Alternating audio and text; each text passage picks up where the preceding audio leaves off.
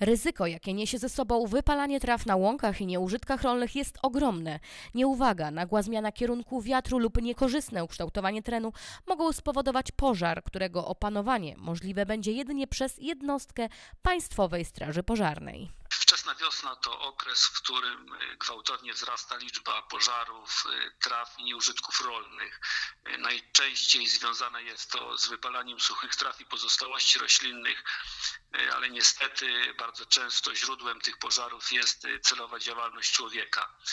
Pożary te są niebezpieczne dla życia, zdrowia ludzi, zwierząt, no, także dla środowiska naturalnego.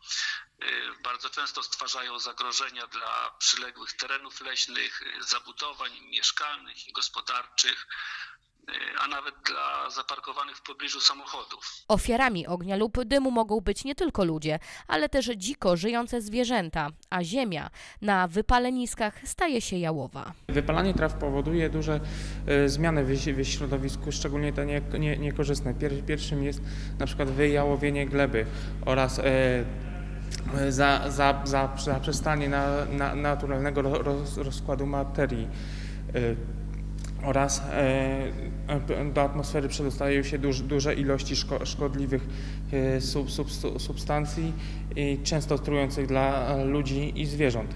E, po, po powoduje to też du, duże e, straty w środowisku zwierząt. Za naruszenie przepisów przeciwpożarowych grożą surowe sankcje. Pamiętajmy o tym, że wypalanie traw jest niedozwolone. Tym samym policja z urzędu reagować będzie na wszelkie przejawy łamania obowiązującego prawa. Zgodnie z artykułem 124 ustawy z dnia 16 kwietnia 2004 roku o ochronie przyrody zabrania się wypalania łąk, pastwisk, nieużytków e, rowów, pasów przydrożnych, szlaków kolejowych, e, trzcinowisk e, czy szuwarów.